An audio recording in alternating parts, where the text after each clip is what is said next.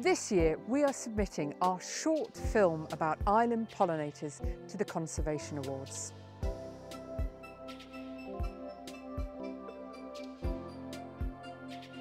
This project celebrates the often overlooked role of our wild pollinators like bees, butterflies, moths and other insects in sustaining the rich biodiversity of our island landscapes.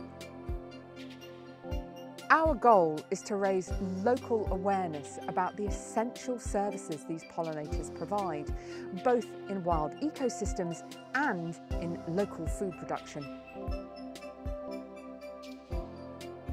By showcasing the interconnectedness of plants, insects and human communities, we hope to inspire practical conservation actions to protect and restore pollinator habitats across our islands.